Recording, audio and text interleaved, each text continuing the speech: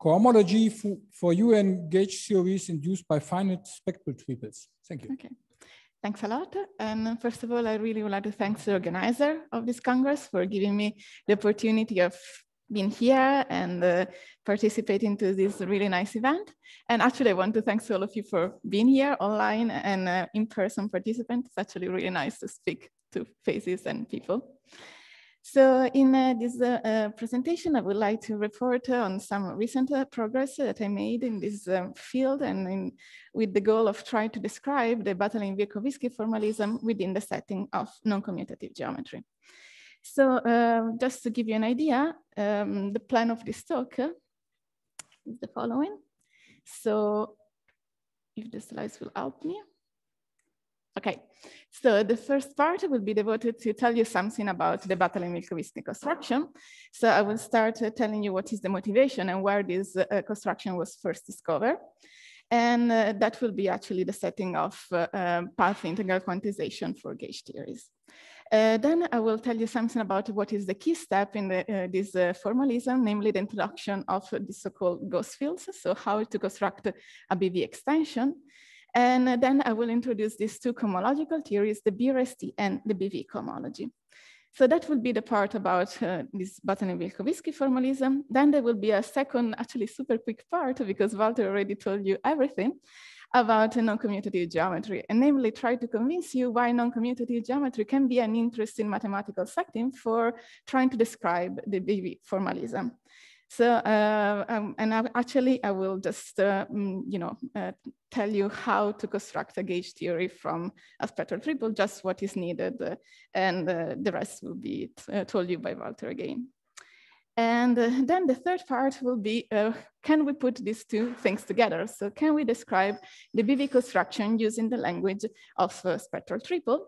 And for this part, I will tell you what uh, I mean, what is for me the notion of a BV spectral triple, why that can be interesting to study, what is a total spectral triple, and finally, how both this cohomological theory, the BRST and the BV, can be described in terms of a cohomological theory that natural appeals for spectral triples. So that would be uh, the last part, but for now, let me introduce what is going to be the main character in this talk. So for me, uh, what I will denote as a pair x0, s0 is what I would call a theory, let's say a physical theory, where x0 is the field configuration space, and s0 is an action functional defined over x0 with, with values in R. So if at the top of that, we also consider a gauge group acting on the configuration space, we say that this uh, pair, so x0 is 0 is a gauge theory, if we do have uh, that uh, the action functional at 0 stays invariant in the action of the uh, group. So somehow this definition is really, let's say, reducing to the essence what is a, a gauge theory. So I'm not telling you what is the structure that I'm going to put on this object, but this will be uh, said more clearly uh, later on. For now, let me be a little bit vague when I'm actually introducing the BV formalism and actually the motivation be behind that. So the context is the context of quantization of gauge theory via the path integral approach. So when we try to quantize uh, theory uh, via this uh, approach, we ended up having to compute integrals of the, the type uh, I wrote over there. And uh, of course, the reason why I put the measure in red and in bracket is that most of the time, this is of course not well defined. So uh, a standard procedure to face this problem is actually to go perturbative. And uh, so I just uh, here recall how it works a little bit. And so the idea is that we go from having to compute an integral that is actually, you know, with all its problems, uh, to uh, considering a sum, a sum of a quantity that is written in terms of Feynman diagrams, where the key point is actually that we are indeed considering a sum taken over the critical locus of the action functional. And uh, is actually this um, point where uh, um, considering a gauge theory enters and plays a role. Because of course, uh, in order to have that everything is, it, it works, uh, we need to consider isolated and regular critical points for the action functionals, which is not the condition satisfied when we consider a gauge theory. Because of course, in that point, critical points of uh, the action as zero appears to be in orbit. So this is why uh, the um, quantization of a gauge theory via path integral approach is definitely not a straightforward procedure. So then one might wonder, okay, so how can we somehow uh, eliminate these redundant symmetries without changing uh, the theory we're actually uh, considering, so the underlying physical theory. So one might actually first consider the idea of uh, somehow quotienting with respect to, to the action of group. So somehow uh, what from a physical point of view are two equivalent points and just uh, um, consider that object. But often this is not the, um, let's say, mathematically easy way of uh, proceeding. And here is where uh, this um, uh, notion of ghost fields appear. So somehow the idea is that we are going orthogonally. So instead of, uh, let's say, quotienting, we are trying to solve our problem by adding new variables that goes under the name of uh, ghost fields. So here I just define what is a ghost field, but it's nothing, uh, um, I mean, particular is just, as I said, an auxiliary graded variable. And uh, uh, I'm just introducing what is the, the usual notation. So uh, ghost field is uh, something that is just characterized by a degree. So it's an integer degree and a parity, which is either zero or one. And we do have a, a, parity zero when actually our field is a real bosonic field and parity one for um, Grassmannian field. Okay, so a little bit of history. Of course, the first one who introduced the concept of uh, ghost fields were Faddeev and Popov when they were studying uh, how to apply this perturbative path integral to the Yang-Mills theory. And what they suggested was indeed to try to eliminate the divergence appearing in the integral by introducing these extra non-physical particles that after them uh, ended up being called the uh, Faddeev-Popov uh, ghost fields. So uh, again, so the main point is that actually we are introducing these uh, new particles and uh, the key point of this uh, BV construction will be really this passage from our initial theory X0, S0 to an extended one where this goes play a role. So that was the beginning of the story. Of course, uh, other um, steps were taken and uh, Zinn-Justin and then Batalin and Vilkovisky ended up uh, reaching a lot these uh, constructions. So not only introducing, let's say, first level ghost, but also ghost of higher degree, as well as anti-ghost. And then, of course, uh, arriving to have like an anti-bracket structure on the space of all these extra particles. So let me say exactly what is an anti-ghost field. So an anti-ghost is uh, defined starting from a ghost field. So is uh, so just characterized by, again, the ghost degree and the parity. And uh, the ghost degree of an anti-field is given in terms of the ghost degree of the corresponding field. So the ghost degree of the anti-field that I denoted with phi star is minus the ghost degree of the field minus one. And uh, I mean, remember that minus one, so there is an extra shifting somehow. And for what concerns the parity, the parity of the anti-ghost is going to be the opposite of the parity of the ghost. So somehow there is this, let's say, doubling. But let's uh, try to be a little bit more precise and describe you exactly what is this key step in the uh, Batalin-Vilkovisky formalism, so this extension procedure. And I will tell you how this works in the set, uh, in the case I'm interested in, so for finite dimensional uh, gauge theories. So precisely now I'm telling you what is the mathematical structure I'm considering on my pair. So X0 is going to be just an affine uh, real space. Uh, S0 is going to be a regular function, uh, an element in the uh, structure uh, ring of our variety. And for the gauge theory, we'll be considering a UN theory. And what I want to be able to associate that is a new pair denoted with x tilde, s tilde. So for what cons uh, concern x tilde, this is going to uh, be a Z-graded super vector space, uh, suitable to be decomposed as a direct sum of f plus f star one, where f is a graded local free module with a uh, homogeneous component that are finite dimensional. So uh, what do I mean exactly? So this condition is uh, taking into account the fact that uh, we want to have this doubling. So I told you ghost on one side, anti-ghost on the other side. So this F accounts for the ghost sector of your theory. And then uh, uh, F star shifted, remember the shifted, is uh, the anti-ghost part. And uh, indeed, what characterizes this formalism is really this doubling. So for each ghost, you want to have also the corresponding anti-ghost. Another condition on X tilde is that uh, what we are doing in degree, so we are not actually doing anything in degree zero. So we want to keep our real fields there. So what we are acting only on strictly positive and strictly neg negative degrees. So we want to be able to recover what is physically relevant, not just auxiliary elements. And uh, uh, then for what concern the uh, action as tilde, so uh, of course it's going to be a regular uh, function on everything, so fields, ghost fields, anti-ghost fields. And once again, so if we do restrict it to the real world, so if we do restrict it to x0 should be what we started with. But the key condition is uh, this one. So we are actually asking that S tilde solves the classical master equation. So that if we take the Poisson bracket of S tilde with itself, this should be zero, where this uh, bracket is just coming from uh, the pairing of, uh, so saying that it's not zero each time we have a, a pairing of a ghost with the corresponding anti-ghost, and then you extend it on the algebra. So why this uh, condition is actually crucial? Because it's what allows us to define a BV complex. So each time we're given a, BV extended theory, we can construct a, a BV a cohomology complex. So here is uh, uh, the definition. So for uh, the cochain spaces, we have that the cochain in degree i are the um, part of degree i of the symmetric algebra generated by this graded uh, vector space. And the coboundary operator is defined in terms of uh, S tilde. So you see is taken, is defined to be like taking the Poisson bracket with uh, S tilde and your element.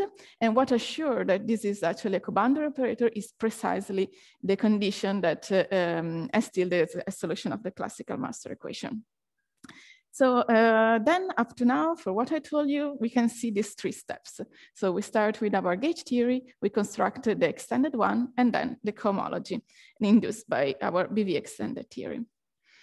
So uh, somehow this is important because we could say that the Batalin-Vilkovisky formalism can be viewed as a cohomological approach to treat gauge symmetries. Indeed, uh, if we do compute these uh, cohomology groups, we realize that they actually capture important physical information on the initial theory we were trying to study, so this x0, s0. So for example, in zero degree, you actually ended up uh, collecting the classical observable of your theory. So of course, one uh, now is uh, to know how to make this uh, kind of extension.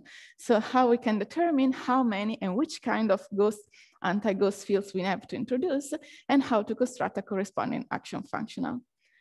And this answer, uh, uh the answer are the following. So for determining what is the ghost sector, what you have to do is to, co to compute a Koszul-Tate resolution of the Jacobian ideal and I will say a few words in a second for that. And for what concern uh, uh construction uh, constructing this extended uh, action functional, you have some kind of approximation procedure.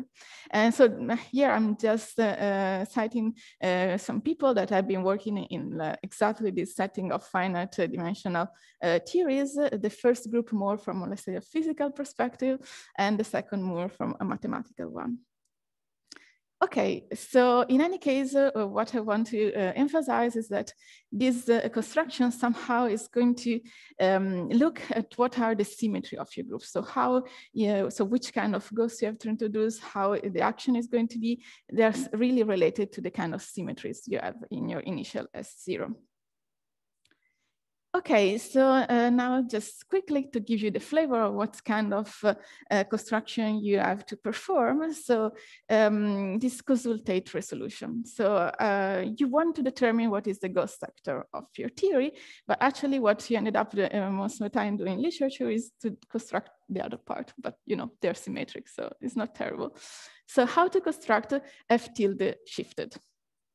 So the idea is that you have to compute uh, this uh, Koszul-Tate resolution of the Jacobian ideal, namely the ideal generated by the partial derivative of your action functional. And what you do is uh, an iterated procedure. So step by step, you're going to introduce new variables. So your, in this case, anti-ghost. Uh, with alternating parity, uh, so depending on which degree you are, and decreasing degree uh, with the goal of constructing, as I said, a free resolution of this uh, differential algebra. So namely, you want to construct a um, complex uh, with, that satisfies these conditions, so such that the uh, sequence is exact. So what you ended up working on with is something that looks like that. So uh, just one small remark, what happens in degree minus one? So remember that uh, what really characterizes this BV formalism is this uh, duality between ghosts on one side and anti-ghosts on the other side. So of course, what happens in degree minus one is actually determined by what happens in degree zero. So somehow what uh, is in degree minus one is fixed already. So the job starts by uh, looking how to solve the situation in degree minus two. So somehow intuitively you have that indeed the degree minus one, we have just introduced all the anti-fields corresponding to the initial physical field of your theory. But in degree minus two is where you actually start analyzing the structure of your action functionals because what you do is to introduce how many generators as uh, how many are the independent linear relations between the partial derivative of your action functional.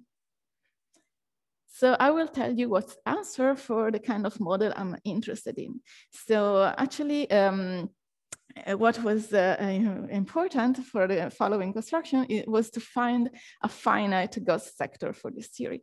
So that was, uh, um, I mean, uh, it, it, was, uh, let's say, a nice result because often in this kind of structure, you ended up having infinite ghost fields. But anyhow, so as you can see, um, the uh, W that really represents your ghost sector is just given by a finite uh, family. So in degree minus two, sorry, in degree uh, one, you ended up having um, as many ghost fields as uh, is uh, this uh, binomial coefficient. And this is also what it's telling you that at a certain point you will finish the construction. Uh, but um, let's try to explain why this, uh, this uh, ghost field, some, the ghost sector somehow encodes the symmetry of the action. So let's uh, consider the, this example. So where we are taking an action functional that is actually um, a, fu a, function of the second Casimir of n. And of course, this is uh, invariant under adjoint action of uh, UN. And uh, what I'm trying to tell you is that uh, this, what I denoted by uh, Cij, so these uh, ghosts in degree one, are capturing the fact that you do have symmetries between pairs of variables in your action as zero while for uh, what happens in degree two, so these ghosts E, I, J, K are actually counting you know, relations between triples of variables. And also this is what tells you, okay, of course it makes sense at a certain point it will finish, so in degree n square minus one. So uh, with this kind of action is uh, quite intuitive, realizing that this is uh, the ghost sector, but uh, I, I mean, I can tell you that you can also consider more general actions and this is still uh, the solution and still the, the ghost sector you're interested in. Of course, uh, then uh, one has to, to, construct also the extended action. So um, I wrote here how it works, but uh, the only thing uh, um, I will uh, in a second draw you the attention on what are the important parts. But for this bit, I should say that it works for this specific class of uh, action. So it determine a solution of the classical master equation in the co completely generality. It was actually mm, um, still to do. But for this class of action, it works. And the properties of the tilde is that it's linear in the anti-fields, anti-ghost fields, quadratic in the ghost fields, and is an exact finite solution of the classical master equation. And these three properties are actually important, so no spoiler for the uh, remaining of this talk, but try to remember. So linear in the anti-fields, anti-ghost fields, and quadratic in the ghost. So this will play a key role. Okay, so now you know what's your pair. So we figured out what is X tilde, S tilde. And as uh, we already know, each time you are given an extended theory, you can construct the corresponding BV complex. So the first three steps of the story. So unfortunately, often this is not uh, the final uh, goal. So you might actually uh, be in situations where you have to uh, somehow eliminate the anti-fields and the anti-ghost fields in your story, which implies that you want to perform a gauge fixing procedure. So unfortunately, for how it's the situation right now, we cannot uh, um, do that uh, straightforwardly. So what we have to do is to introduce auxiliary fields. So if you do remember how we ended up constructing this extended X tilde, so there were ghosts on one side, anti-ghost on the other side. And for how the construction works, actually all the ghosts were in positive degree. So this is why we need this intermediate step, but it's a little bit technical just to tell you that, you know, the story uh, unfortunately continues. So you have also to take into account this fact of having to introduce auxiliary fields, namely ghost fields of negative degree in order to be able to perform this gauge fixing. Of course, you want to do that in a way that is not changing your cohomology. You still want to have a control on what is your BV cohomology. And I mean, it's nothing uh, uh, strange. So somehow it's already the ghost field, the ghost sector that is telling you how to perform this extension.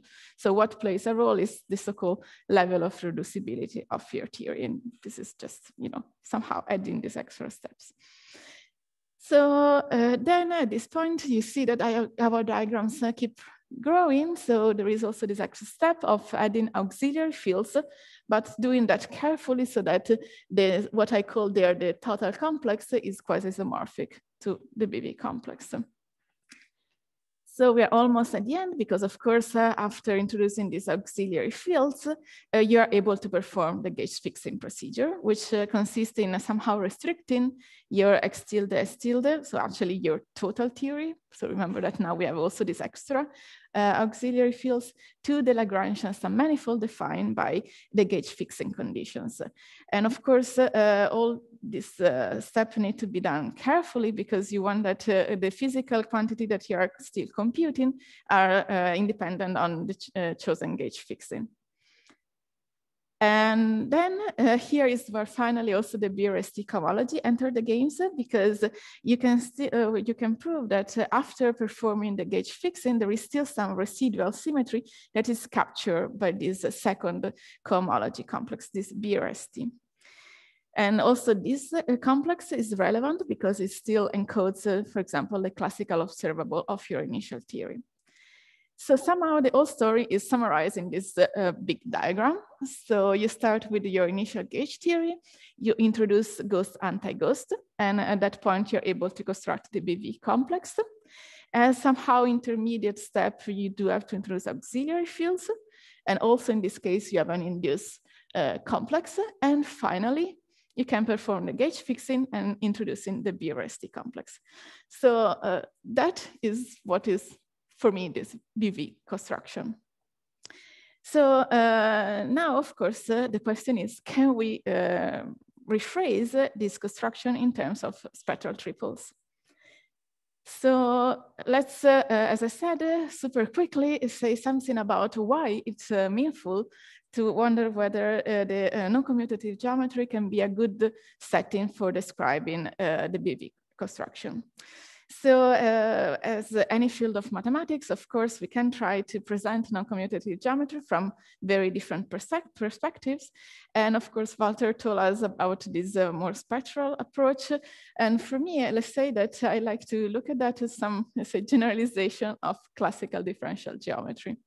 So what do I mean? So somehow uh, the key idea uh, can be of the one of some let's say, try to translate geometrical object in algebraic terms and uh, see whether having this kind of uh, translation from classical geometry to algebra may allow to uh, consider more general objects.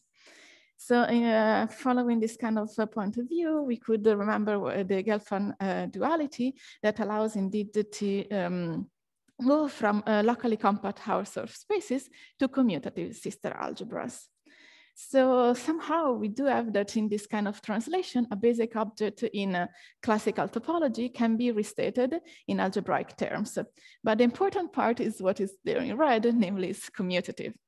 So of course, once you are on the algebraic side, you might wonder if uh, you can actually drop uh, this commutativity condition and arrive into some kind of, let's say, non-commutative topological space that of course doesn't have anymore any uh, geometric uh, uh, interpretation, but is uh, purely algebraic. And of course, you can enrich all the structure and arrive into uh, the already uh, cited reconstruction theorem by Connes, where indeed you have uh, this kind of duality, this time reproduced between compact Riemannian spin manifold on one side and a canonical spectral triple, where actually you see there are extra elements, uh, so this J and gamma appearing. But once again, you see that the underlying algebra is uh, commutative and you may wonder if this uh, condition can be dropped. And you arrive to the already uh, explained um, definition of spectral triple that therefore can be used as some kind of, let's say, non-commutative notion of manifold in this um, perspective. So here I just quickly restate what is the definition of a spectral triple given by uh, an algebra, an Hilbert space, and uh, an operator D with compact resolvent and bounded uh, commutators. However, a point that uh, um, is interesting to consider is that each time you're given a spectral triple, you can naturally define a gauge theory. So here is uh, uh, the recipe, so how you can construct uh, your configuration space, action functional, and gauge group given a, a spectral triple. Sorry, uh, here uh, possibly A should be embedded in B of H, yes, not, not equivalent. Uh, yeah, yeah, yes, uh, I notice it. Yes, mm -hmm. thanks. so um, yeah, okay. So for the gauge theory, uh, the configuration space X0 is obtained as uh, that uh, um, collection of elements. So you do have, uh, you consider sums of product of an element J in the algebra times this commutator with the operator D and you restrict it to the self-adjoint part, so where star is the star operation on your algebra. For what concern the action functional, this is uh, taken to be the spectral action. So it's going to be the trace of, uh, I mean, I wrote there a polynomial because it's the kind of model I'm interested. Of course, you can consider a more general setting. Uh, but uh, yes, so a trace uh, of this uh, function in D plus phi. So phi is again an element in the configuration space. And for what concern the um, gauge group is taken to be the unitary element of your algebra. So uh, with this kind of uh, recipe, given a spectral triple, you can construct a gauge theory. And as already uh, Walter explained us, there are several models one can uh, recover with this kind of language. So here, just uh, quickly remind you that indeed the, the, standard model can be seen in this uh, as an almost commutative spectral triple. Okay, so I think that that is um, very convincing, so that indeed uh, uh, non-commutative geometry can be an interesting framework for this construction. So what is the goal? so of course, we have noticed that so the BRST, the BV complexes, somehow they're really encoding the physical theory and the physical um, properties we are interested in. So one might wonder, okay, can we actually use uh, this, uh, the fact that non-commutative geometry is somehow encoding gauge theory uh, to uh, describe a construction that is really involves gauge theory in terms of spectral triple? And also, can we say something for the cohomology, so for the BRST and the BV cohomology, and relate them to other cohomological theories uh, or, um, appearing uh, in the setting of non-commutative geometry.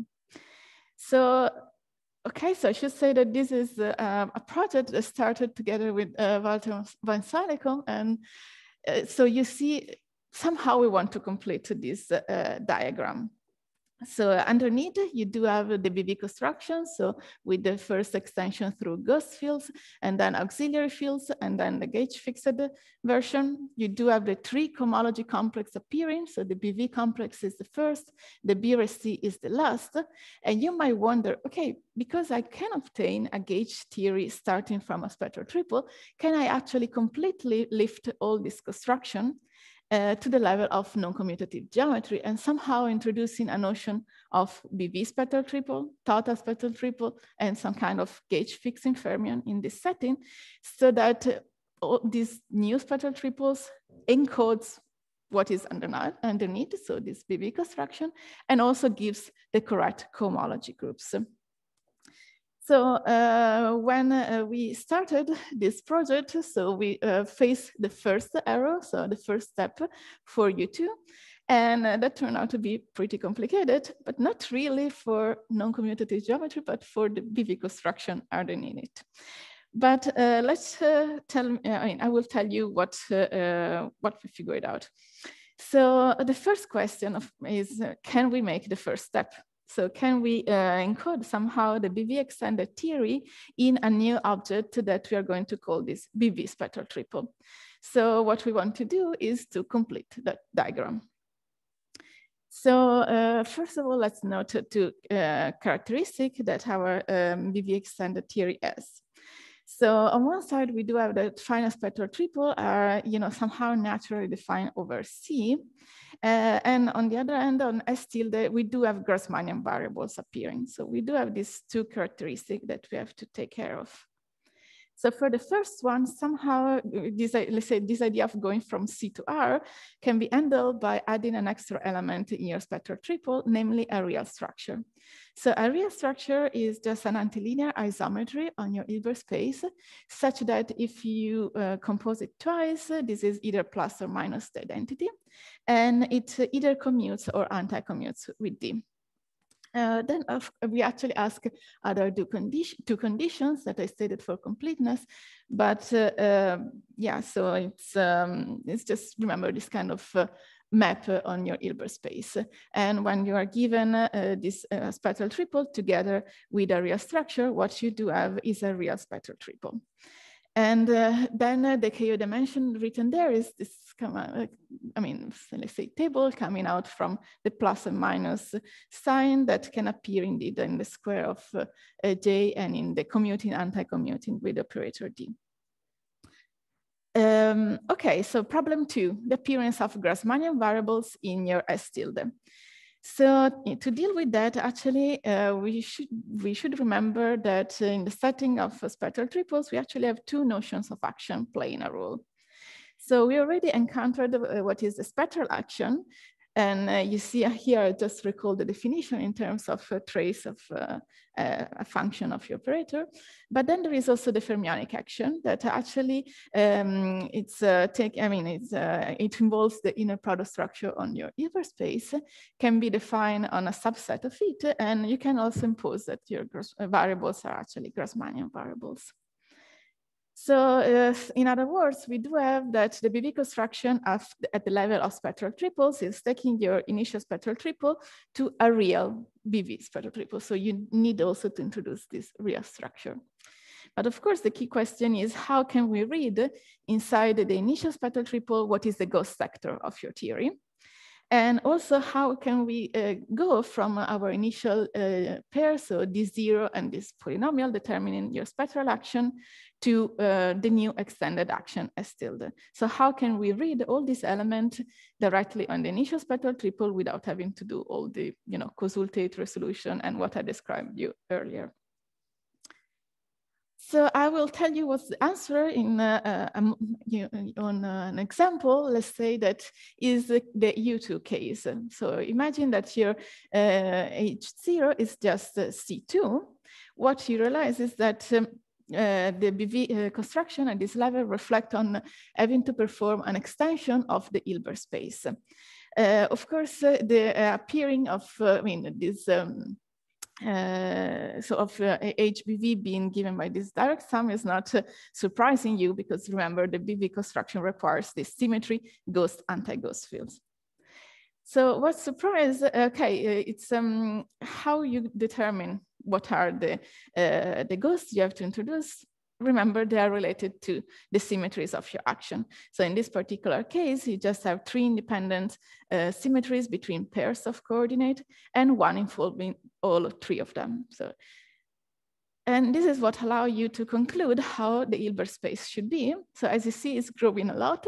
So it goes from just being C2 to be given by um, six copies of M to C. So uh, I think that, uh, I mean, I don't know whether it's visible, but uh, um, I'm also keeping track of somehow the ghost degree of uh, our variables. So I'm uh, adding this uh, degree zero, one, and two, just to remember what are indeed the ghost degree, because remember, you, we still want to go to the corresponding cohomology.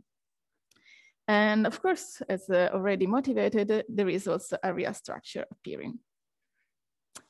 Okay, uh, now the difficult part, how we do determine what is the operator uh, that gives the correct action. So here I'm just recalling you what we've discovered.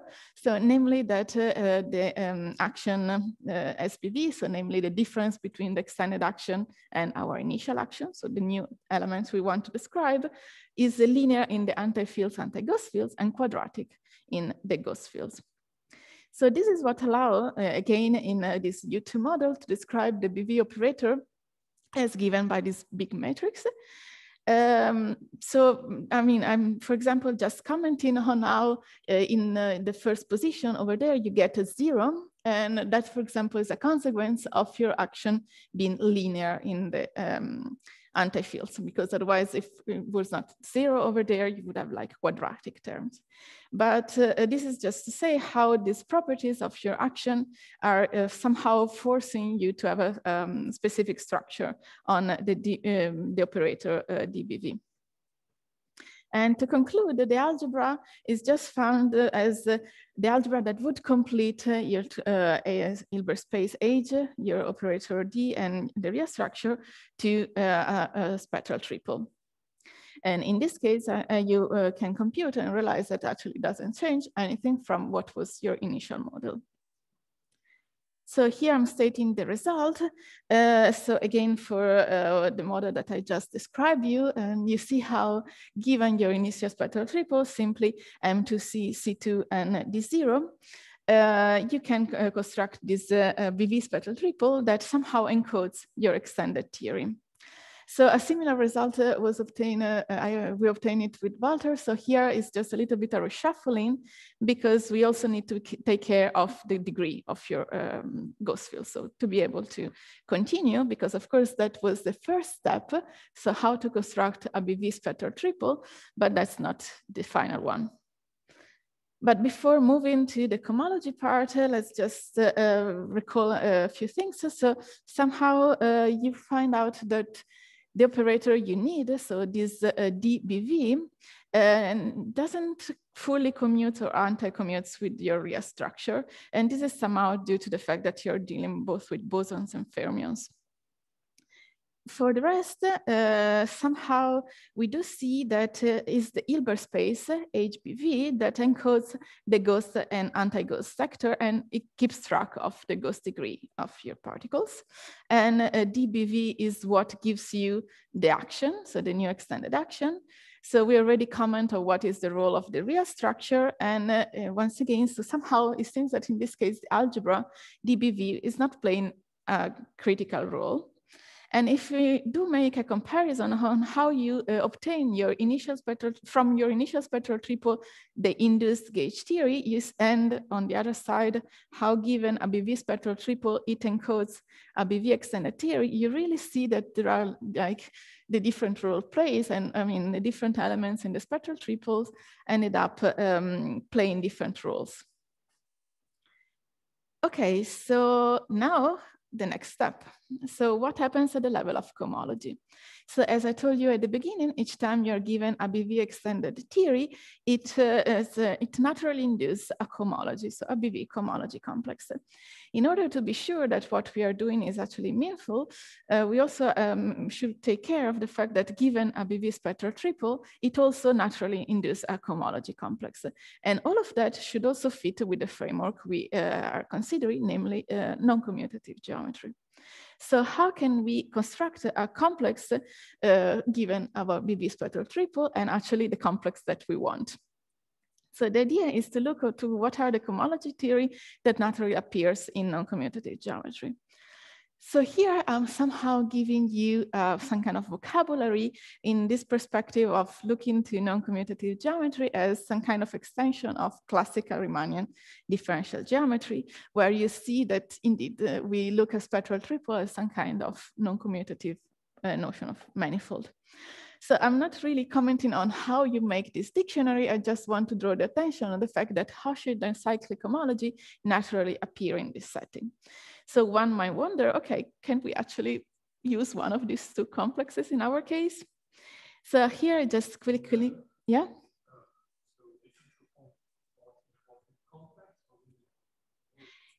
Uh, yeah, okay, so I wasn't really precise on this point, but uh, yeah, yeah.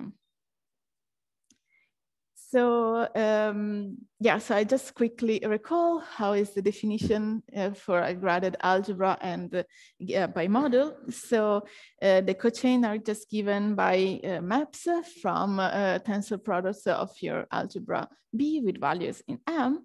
And for what concern the uh, co-boundary operator, uh, it's uh, you see the first and the last terms that take care, I mean, are, depends on the left and the right action of your bimodule.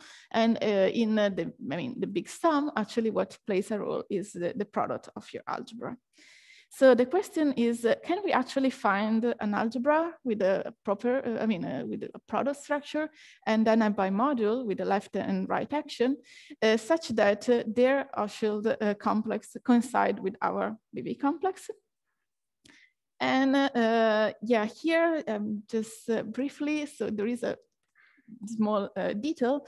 So uh, what uh, the BV formalism require is that you do have this symmetry between ghost and anti-ghost. So this is also what is going to actually fix what happens in degree minus one. So, but on the other hand, there are uh, some uh, anti-fields that somehow don't really play a role. For example, if you think to our UN model, the U1 part, you do imagine that it's not really playing a role, so it doesn't have any symmetries inside. So what we will actually be able to recover from the BV spectral triple is what I call here the effective BV complex. So it's nothing, I mean, fancy, it's just somehow don't consider the anti-fields that are not really detecting uh, any symmetry. But of course, you can still, you know, given this your effective part, going back to the BV complex. So as I said, so it's just to be precise, but it's not that you're losing information somehow. So can we uh, find the correct algebra and the correct uh, bimodule? So here, uh, this is uh, the answer again for this U2 model. So you can find an algebra B is just, uh, of course, uh, given, not surprisingly, by your ghost and anti-ghost sector. So what again plays a role is your Hilbert space. And for what concern the product, this is coming from uh, the fermionic action of your BV spectral triple in all degrees, but in R0. And for what concern the bimodule, this is actually coming from your initial fields. So it was already actually encoded in your initial spectral triple. And for what concern the, the left and right um, structure, model structure, is coming from the, um, the fermionic action, this time in degree zero. So somehow schematically, we do have that given the BV spectral triple, the way how you construct uh, the corresponding um, pair of algebra and bimodule is as following. So somehow the algebra B is coming from your uh, um, Hilbert space and the bimodule is coming from your algebra, while uh, the operator DBV and the real structure that together gives you the uh, fermionic action are the one responsible in uh, degree zero for describing left and right action of your bimodule and in all the other degrees are related to the product structure on your algebra. So somehow it's telling that also the next step works. So we know how to go from a BV spectral triple to this uh, complex, and actually this complex is what we want. So uh, the uh, Hochschild complex defined in this way coincide. So it's, uh, I mean, it's quasi-isomorphic to the BV complex, this effective part. So of course, uh, this is not the end of the story, as we know. So we still have to take care of this technical step of introducing auxiliary fields. So we were wondering, okay, can we actually go from a BV spectral triple to another spectral triple that contains also these auxiliary fields? And here I'm once again reporting you what is the answer for this uh, uh, model that we have been considering. So this uh, U2 model. And uh, um, you see that this, we have a similar structure. So once again, what really gets uh, bigger and bigger is the Hilbert space. Nothing happened at the level of the algebra.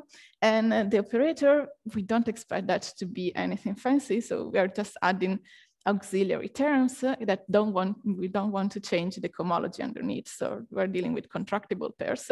So we are just uh, making the matrix a bit bigger and putting identities here and there.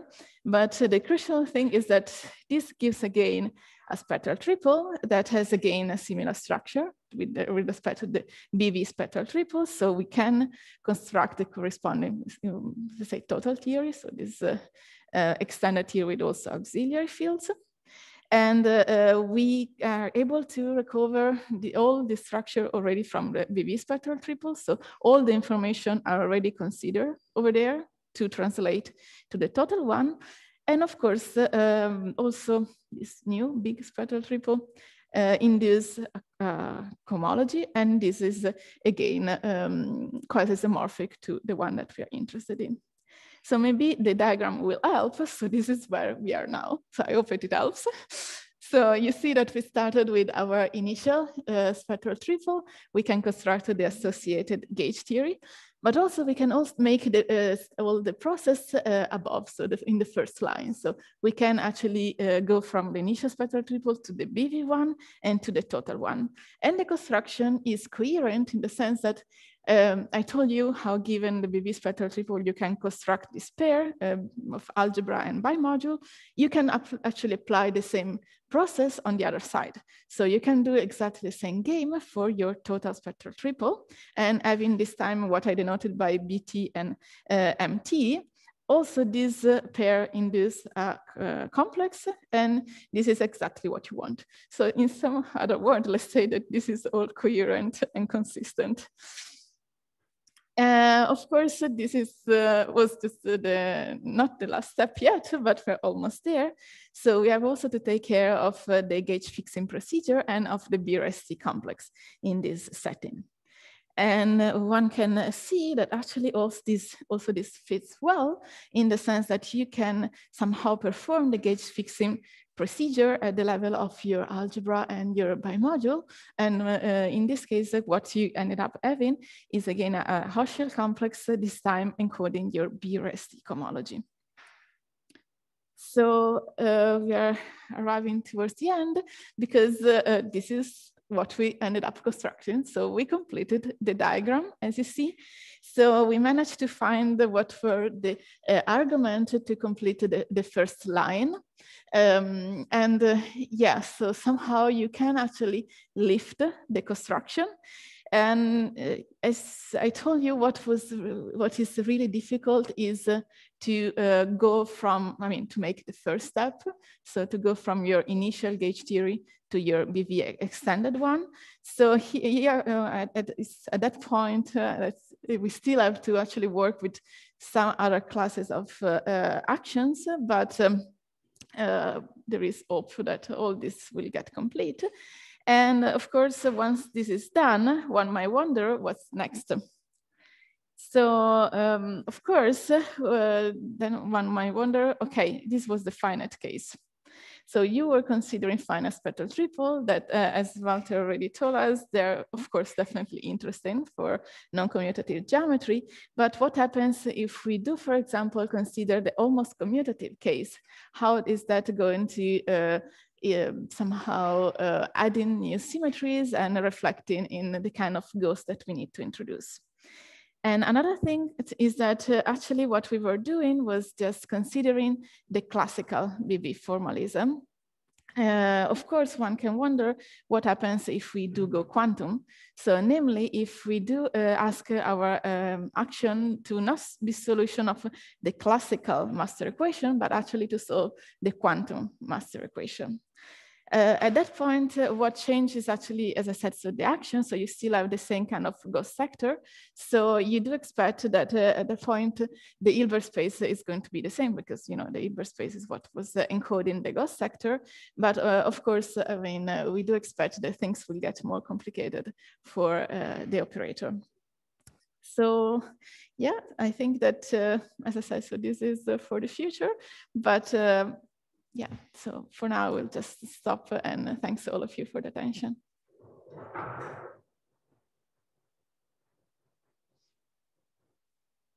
Okay, we still have time, but it's fine. We are back to our original schedule. So there are questions or comments.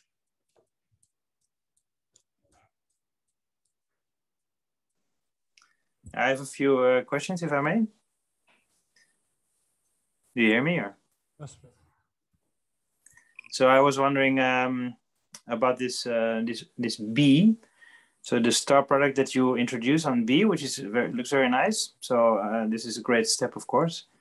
Um, and you define it using the bracket.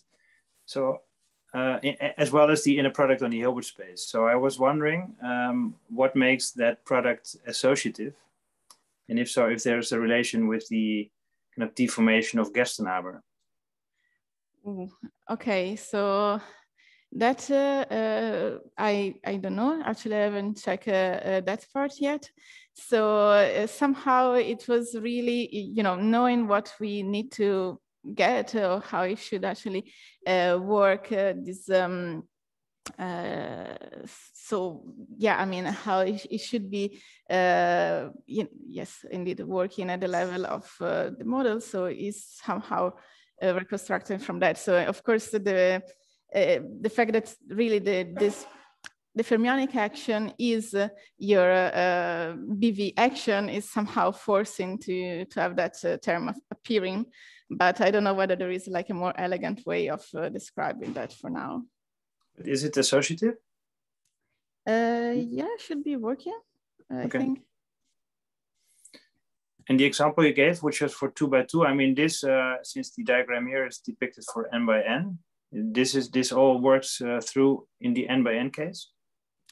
Yeah, I mean, uh, going from two to n, uh, so the problem is really just for determining what is uh, your um, explicitly what is uh, the def definition of the extended uh, action functional.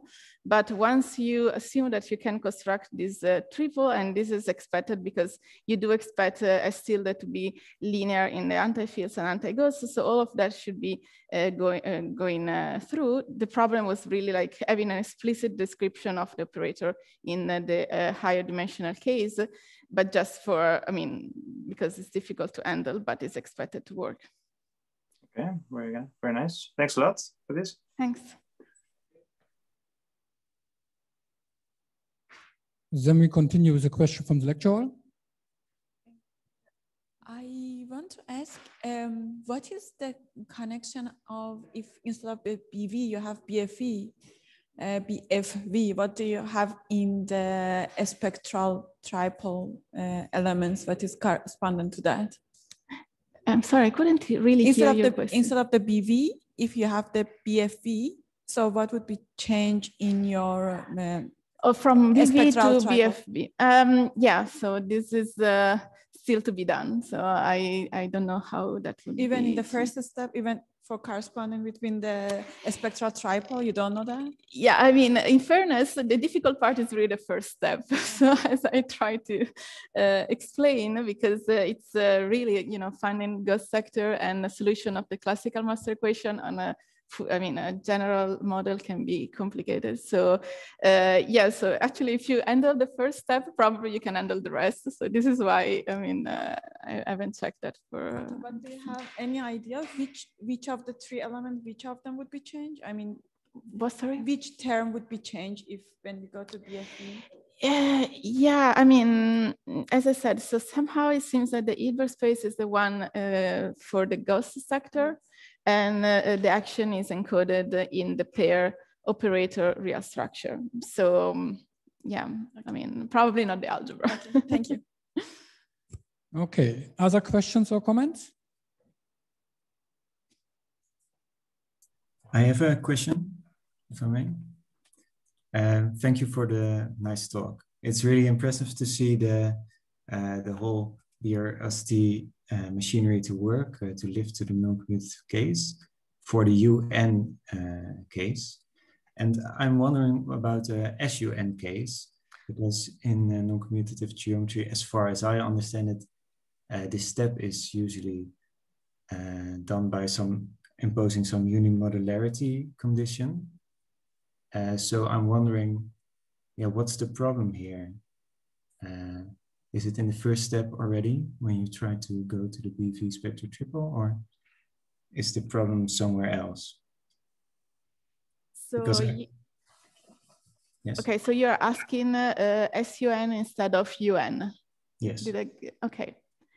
So um, maybe, uh, so the model I've been showing you was this uh, U2 model. And uh, I didn't really explain how you were actually going from, uh, you know, two by two self-adjoint matrices to the action I showed you. But uh, somehow uh, you were seeing this kind of symmetry between, let's say, x1, x2, and x3. So that was the U2, uh, SU2 part uh, somehow represented in the symmetry of your action. So then the U1 component appearing was naturally not really entering the symmetry. So uh, at least uh, in, at that level, so there was not such a, um, uh, I mean, uh, the presence of this extra U1 part, it was uh, actually what was creating this, let's say, technical problem of having to get a little bit uh, to this, let's say, effective BV complex. So actually, I think that if you consider uh, SUN, you might actually have, a, I mean, a clear construction without having to somehow pass to the effective part. So it might be that uh, that is uh, actually even nicer to, to, to tell as a story. So it, uh, it fits probably better, you're right. Wow, that, uh, that would be very impressive. Okay, thank you. Okay, other questions or comments? Then let's thank the speaker again.